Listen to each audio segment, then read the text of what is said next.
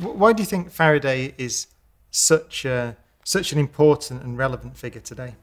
Everybody knows somewhere in their understanding that curiosity is what makes us human. Learning more about why we're here, what we do here, why things around us work as they do. And Faraday had the curiosity and he had the determination to understand the answers. And he didn't always know where he was going to lead him, but he strongly believed there were important applications coming along and they were going to change things. How they changed the world is phenomenal.